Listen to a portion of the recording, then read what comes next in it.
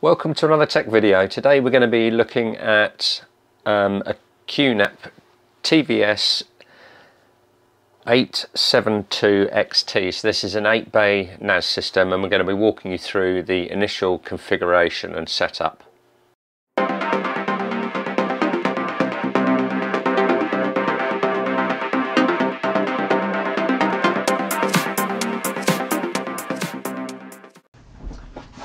Okay, so we're going to walk through the initial setup and deployment of our NAS drive. So first thing we want to do is we're going to click on Start Smart Installation. This is the current version that we're on, which is the latest version. We're going to check for an update. You can see we're up to date, so we're going to click on Next. And we're going to give it a name. So this one we're going to call it uh, give it a host name.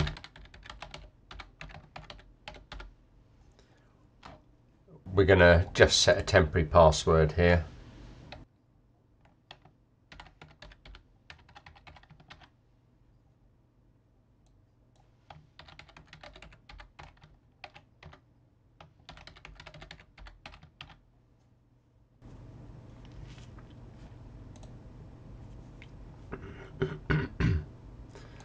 So Greenwich Mean Time, that is correct, but we're just going to double check it, make sure we're set to London, which we are.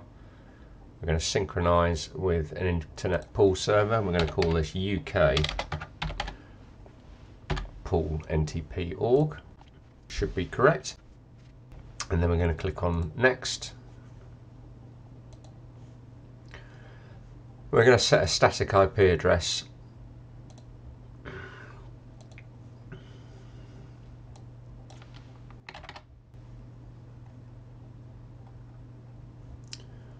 I'm going to set our primary DNS server to be 192.168.10.1 and our secondary DNS server to be Google.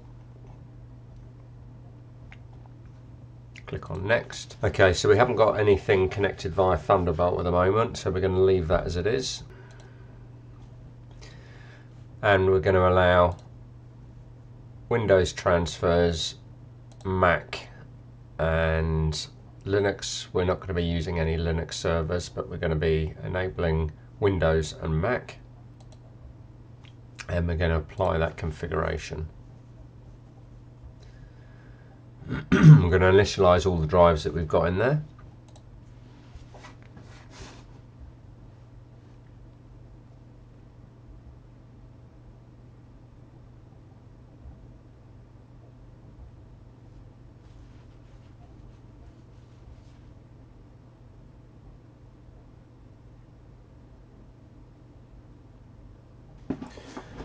Okay, so now we've reached 100%. Let's just wait for things to start up.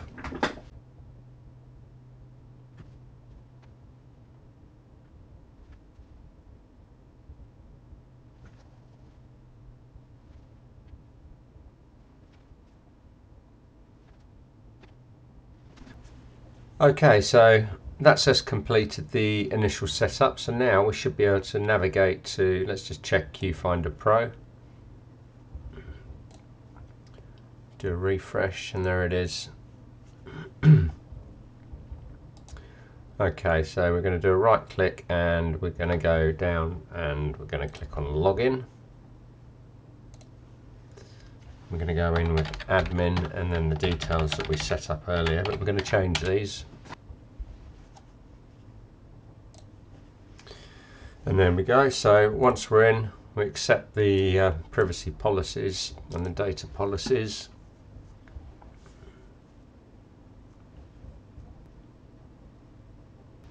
Okay, so we just click through this. And we're going to come back to this in a minute. So we're not going to allow them to collect our data. So we're going to close that down. And we're going to close this down. And we're going to close this down as well at the moment. And that so we don't want to create a storage pool yet. Right, so now we're up and running. The first thing that we want to do is I'm going to go through and I'm actually going to sort out the administrator account. So we're going to go into users. And at the moment you can see the administrator account is enabled. So I'm just going to go in and change the password.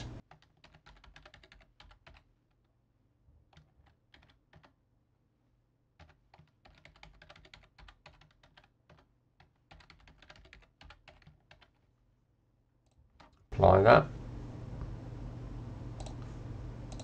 And then check it again. So okay so what we're going to do we're actually going to disable this account. So we're going to create a new user. And we're going to edit the permissions because we are administrator. Shared folder permissions we've got no shared folders at the moment so that's fine and unrestricted apps. So we're going to create that new user. And then we're going to go into, we're going to need to log in with that user. So at the moment, I'm just going to log out because we're logged in as admin.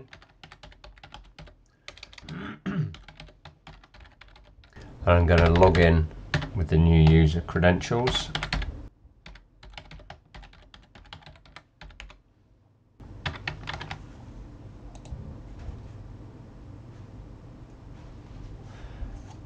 And once we're logged in, we're going to disable that admin account. Close all of this stuff down at the moment.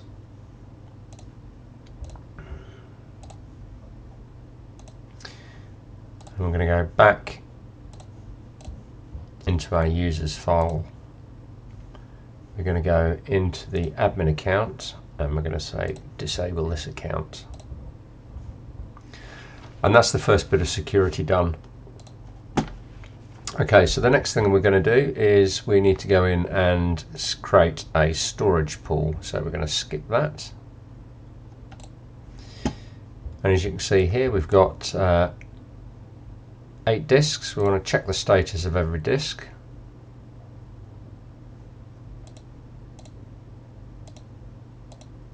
Just to make sure they all look good although it tells us at the top because they're all green. But I like to go through and make sure that the power on hours is set to zero to make sure that they're not used drives. We've got an M.2 drive and another M.2 drive.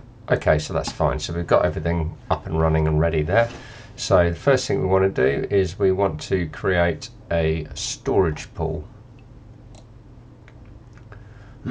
so as you saw there, to click on that, we get, when we're in overview on storage, you can click on this section over on the right here. So we're going to click on storage pool. And we're not going to add different types of drives so we don't need Q tier.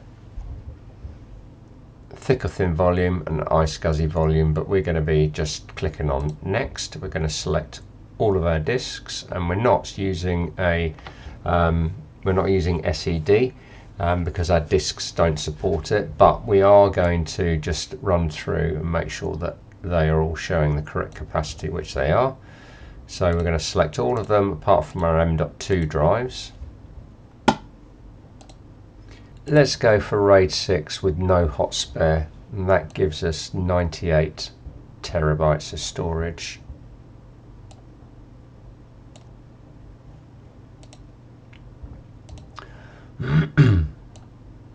98 terabytes so we lose a disk basically with uh, RAID 6 but we can lose two disks in the in the array so I think uh, 98 terabytes is probably good for that. Makes good business sense to have maximum protection. Okay so we'll stick with RAID 6 and we'll stick with the full disk capacity. So that means we can lose two um, without losing any data. So let's click on next. And our alert threshold for that storage pool is we're going to set it to 90%. I'm going to select next Okay, so that gives us a total of 98 terabytes. Let's create that.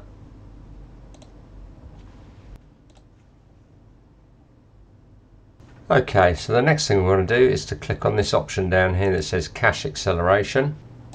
Click on the plus. I'm going to click on next. We're going to scroll down and we're going to select our two M.2 drives. These are 500 gig each. And we're going to select read write and we're going to make sure that it's set to RAID 1 so that we protect the data that's in the cache. And that's all there is to it. We're going to click on next We're going to select over provisioning, leave that at 10%, and we're going to change random IO to all IO, which is because we're going to be using it for file serving and not media streaming, but file serving and um, more strenuous uh, jobs than random IO. Uh, block bypass block size, um, we're going to leave as standard. and the cache replacement policy, we're going to leave, we're going to use least recently used. So this is going to get rid of the items in the cache that are the are not used as much as anything that is used regularly, and that will keep that in the cache all the regular use files. I'm going to click on next, and we're going to leave this at the moment. Um, so we could because we haven't got a volume so we're going to just click on next at this stage and it's going to create a RAID, new RAID group. We can leave everything here at the moment and we'll come back to this later when we start creating volumes and then we're going to click on create. We're going to tick the box which is a warning about wiping the drive and we're going to select OK.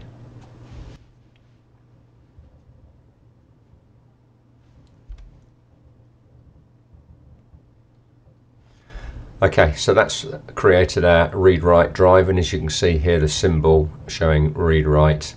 Um, we get all the stats as, as and when we start using it, but that's it for the cache acceleration drive. So that is now synchronizing the RAID group, so we're going to leave that running. We're going to remove this from the screen there, and we're also going to remove that as well, because we're not interested in that. Okay, so the next thing is we want to go through and check on some security. So we're going to general settings first of all. We're just going to walk through all of the configuration. TLS version 1.2 is correct, that's what we want. Um, at the moment, we can see up here it's using uh, an unsecure port, so we're going to select force secure connection only. We're going to leave all of this stuff set as it is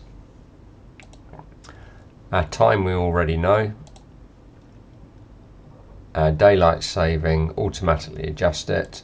Code page is English, region is global, login screen is fine, and console management is enabled. Okay, so the next thing is we're going to go to security. Okay, we're going to cancel that. We're going to apply it first of all.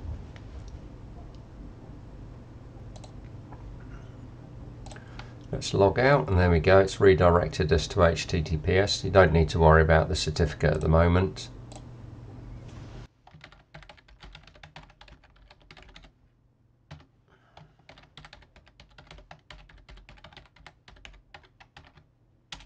We're going to log back in. We don't want that to launch again.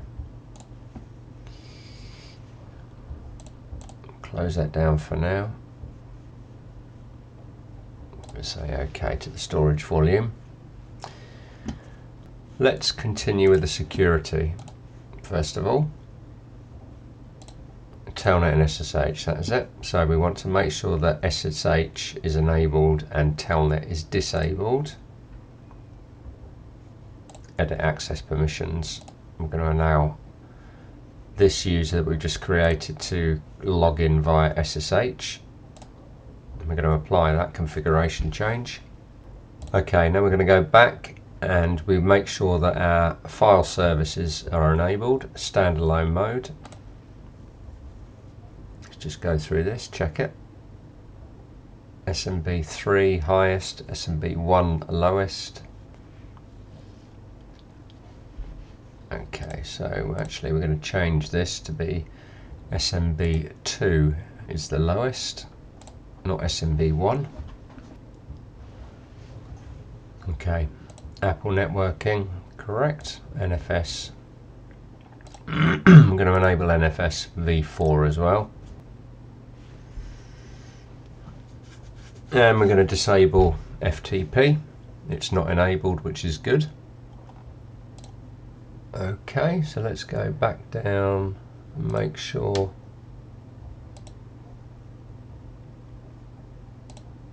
that our web server is disabled which it is by default. That's good because uh, they used to enable that by default.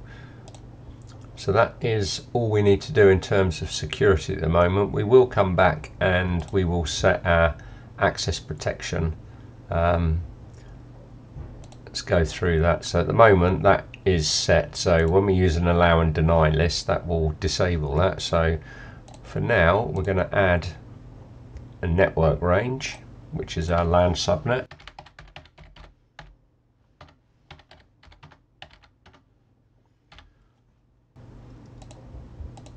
And add our 24-bit subnet and create that. And what we're also going to do is all of our clients that are going to be coming in and connecting to this we're going to list those in here as well. So what that means is that only specific IP addresses will be able to connect to this NAS drive. Okay, and then you can see once you've set uh, uh, an allow and deny list, your IP access protection gets grayed out, but your account access protection stays. So all non-administrator group users, so anyone who's not an administrator basically, should have read that properly. We're going to apply that. So that's now the basics of the system completed. Um, what we're going to do following this video is we're going to run through another video creating the various volumes that we want to be using. But the first volume should always create in your RAID group is your system volume uh, and that's the volume where your applications are going to live. So we can have a look at our dashboard. Um, as you can see everything looks good um, memory and CPU usage is there. Let's click on resource meter. This is where you can see more in-depth um, information about your system and what's going on. So the total physical network usage, average CPU, memory usage. Um, if we go into storage resources, again we can see CPU, memory, network and the graphics if, it, if you're using it. And then the storage resources, um, we don't have any volumes at the moment. Um, pool activity, this shows you uh, what's going on. Nothing in there at the moment, obviously, but the RAID activity um, will should start picking up once our um, RAID group is synchronized. And then the disk activity, um, there'll be a little bit of disk activity going on, which shows the um, the uh, RAID synchronization on all the disks. And you can see that our M.2 um, caching activity is uh, is available to us as well.